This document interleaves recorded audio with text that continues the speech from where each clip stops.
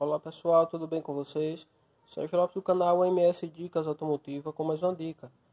Como substituir a bomba de água do Gol geração 5, geração 6, motores tanto 1.0 quanto 1.6. Beleza? Esse carro aqui pre... está precisando ser substituída a bomba de água, já vou mostrar a vocês o porquê.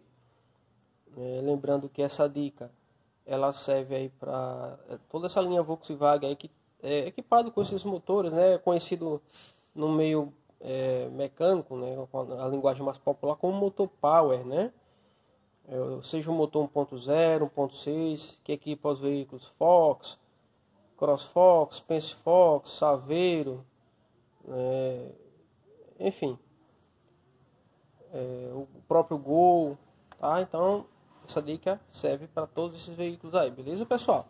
Gente, é o seguinte, a gente vai substituir essa bomba de água aqui por conta que o carro tá, é, é a água não está circulando, certo? O carro está com um problema de circulação, tá? Um problema de circulação, ou seja, quando a bomba de água dá problema, ela tem um, um sintoma muito semelhante a sintoma de válvula termostática, né? A válvula termostática quando está com problema, quando ela está travada, é, o, a, o, o líquido de arrefecimento não circula no sistema e aí acontece que fica um mangote quente e outro frio, né? O mangote superior do radiador fica quente e o mangote inferior do radiador fica frio.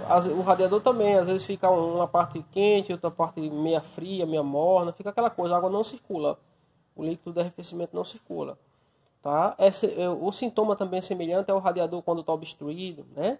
Então, assim, bomba de água, válvula termostática e radiador, eles dão praticamente o mesmo sintoma, o mesmo sintoma. Então, assim, tem um, um, pouquíssimas diferenças, assim, detalhes mínimos, mínimos mesmo, que não tem nem como você é, observar, certo? O fato é que ela fica sem circular água, o mangote fica quente, outro frio, e, vo, e você não consegue identificar o que é que é. Tem que ir matando mesmo, matando item por item, testando válvula termostática, né, testar radiador, verificar a bomba de água se as hélices não estão quebradas, eu já vou mostrar para vocês o que é isso, tá certo? Então, aqui é o seguinte, ó. Primeira coisa para substituir a bomba de água, tem que desmontar a frente do motor. Tá?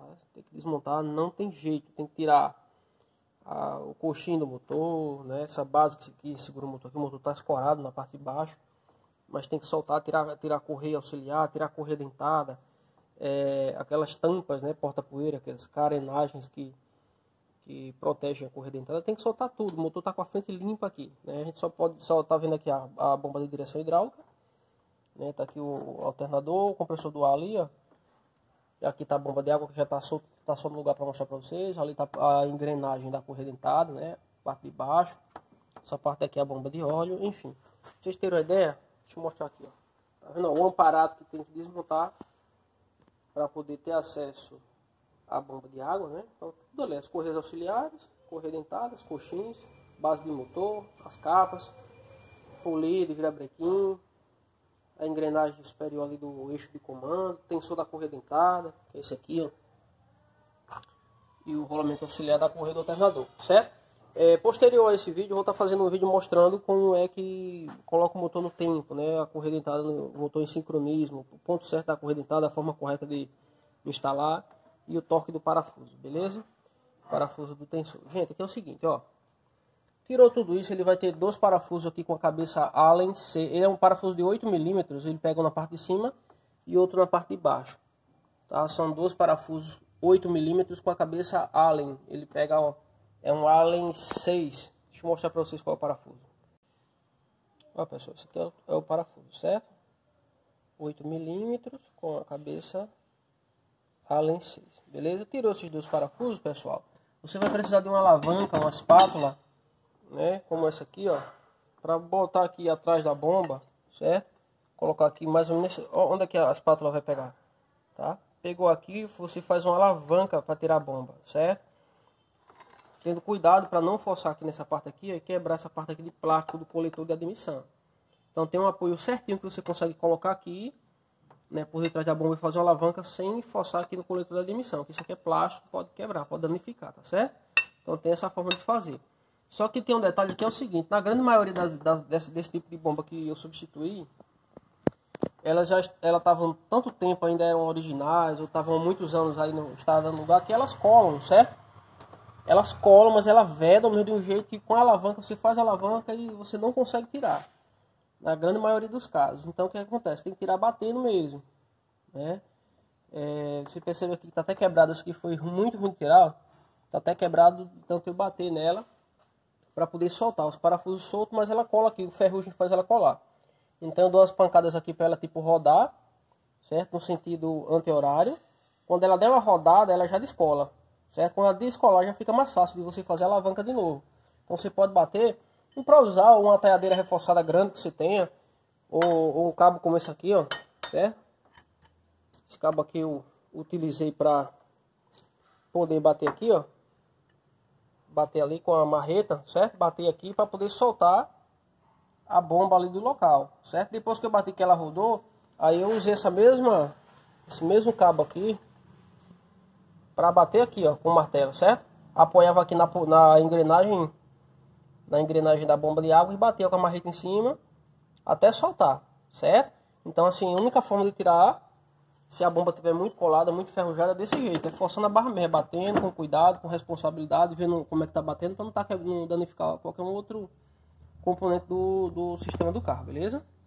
Depois que você bater, pessoal, ele vai, a bomba vai soltar, certo? Pra vocês terem ideia, aqui é o tanto de ferrugem que tinha aqui segurando essa bomba, colando a bomba ali na, na no bloco do motor, certo?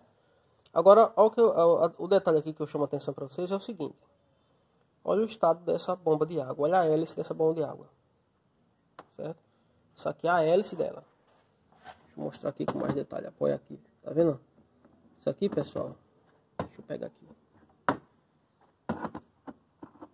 Ó. Ela tá rodando. Ela, ela não tava vazando água. Essa bomba ela não, não tava vazando água. Mas o carro tava com esse problema. Ele tava aquecendo um mangote superior e inferior não. Agora, quando acelerava em alta rotação, você pisando no acelerador, a água circulava. Por quê? Porque só tem uma hélice agora, certo? Só tem uma hélice. Então, essa uma hélice que tinha aqui, ainda fazia a água circular ao ponto de não deixar o carro superaquecer.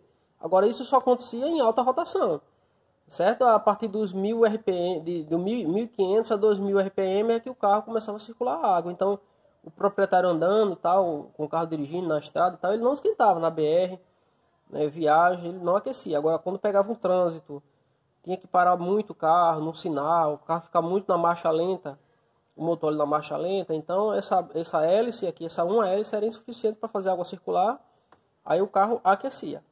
Beleza? Um detalhe que eu chamo a atenção aqui, ó. Ela ainda era a bomba original, tá aqui o símbolo da Volkswagen. Esse carro aqui ele é um Gol geração 5, certo? O ano dele é 2009. E ele ainda estava com essa bomba original, né? Praticamente aí 11 anos de uso, estamos em 2020, praticamente 11 anos aí de uso, certo? Agora deixa eu mostrar para vocês aqui a bomba nova para vocês verem a diferença. Ó. Tá vendo o tanto de hélice que é para ter a bomba de água nova? Essa bomba de água aqui é uma bomba da marca Shadek, eu já vou mostrar para vocês a referência já já. Tá? Essa marca Shadek é uma marca top de linha, uma marca assim, eu já peguei é, itens originais bomba de óleo e bomba de água em alguns carros que veio original da marca Shadek, certo? Eu já peguei. Tá aqui a referência dela. É... 90 000 barra 01081 beleza? com a hélice de metal. Só para vocês verem aqui ó, comparando uma com a outra e vocês percebam que a bomba original também é hélice de metal. E o ferrugem comeu tudo. A causa disso aqui é a falta de aditivo tá bom pessoal? falta de aditivo faz com que a bomba de água seja danificada. Faz com que o radiador seja obstruído. O bloco do motor também acumula muito ferrugem. Então, assim, por isso que eu sempre recomendo usar aditivo original, para que isso não, não ocorra. Tem umas bombas de água que a hélice aqui é de plástico. Aí você pode dizer, é, mas se botasse de plástico não acontecia isso. A de plástico não acontece isso, mas ela solta o rotor. Ou, ou a, a, parte da hélice ela é de plástico, mas o rotor aqui, o eixo é metal. Então, quando esse ferrugem que deu aqui na hélice, ele dá, ele dá no eixo, Aí corrói o eixo, folga a hélice de plástico, a hélice de plástico fica solta dentro rodando. O eixo roda e a hélice fica. Eu já peguei vários casos com a hélice de plástico é, solta dentro. Porque o, o, o, eixo deu ferrugem e se soltou da, da hélice de plástico, certo? Então, assim, para ferrugem, único, a única prevenção é de fato usar é, o aditivo, beleza? Então, assim, não tem outra forma de proteger contra esse tipo de problema aqui. Tá bom, pessoal? Para instalar é só fazer o, o caminho reverso, né? Só você colocar a bomba no lugar. É, eu gosto de lixar bem, tirar o excesso de ferrugem daqui, ó, que tem aqui, ó. Certo? Tem muito ferrugem, então eu lixo bem aqui, nessa parte aqui da, da do encaixe da bomba. Né? Quando tem escareamento, né? É, pequenos pontos assim de ferimento no metal, onde, onde a válvula, onde a bomba vai assentar, onde essa parte aqui vai assentar Aí o que, é que eu gosto de fazer? Eu gosto de colocar um silicone de alta temperatura da marca Vurt, né? Porque ele vai auxiliar na vedação, certo? A gente não pode correr risco de ficar vazando depois de montado. Porque é muito trabalho para você desmontar a frente do motor desse, colocar, então você não pode correr, correr risco. Então eu, eu aconselho sim o uso do silicone aqui para auxiliar, principalmente quando tem muito ferrugem no sistema, tá bom? Se colocar do jeito que está aqui só a borracha de vedação, pode dar certo, mas pode também é, abrir algum tipo de vazamento. Você vai estar correndo risco. Botão silicone a gente sabe que vai estar garantido, beleza? Então era essa, era essa dica que eu tinha para dar para vocês aí, certo? Lembrar de é, usar sempre aditivo no sistema. E quando for fazer um diagnóstico, não saia condenando tudo, faça os testes direitinho, válvula termostática, radiador, bomba, bomba d'água, para poder ter certeza que é, do que é o problema, para não estar tá dando aí prejuízo aí para o proprietário, proprietário do carro. Se você for proprietário e mexe no seu próprio carro, tem que ter muito cuidado aí para não estar tá tendo gastos desnecessários. Beleza, pessoal? Gente, era isso que eu tinha para falar. Eu espero que eu tenha conseguido ajudar de alguma forma. É, se você é novo aí no nosso canal aí, a, é, se inscreve no nosso canal, ativa o sininho de notificações para o YouTube sempre te avisar todas as vezes que a gente postar um novo vídeo. Deixa seu like aí para nos ajudar, tá certo, pessoal? Você você gostou, se eu conseguir te ajudar, deixa teu like aí, porque é muito importante pra gente. A gente ajuda com as dicas e você ajuda aí é, com o seu like, beleza? É, lembrando que aí na descrição do vídeo vai ter alguns links aí de cursos profissionalizantes que a gente está promovendo no nosso canal. Se você tiver interesse aí, clique em algum desses links aí também e confere lá na página de apresentação do curso todos os detalhes, se é para você, se você tem interesse, tá bom, pessoal? Forte abraço, fiquem com Deus. Até o próximo vídeo do canal MS Dicas Automotiva.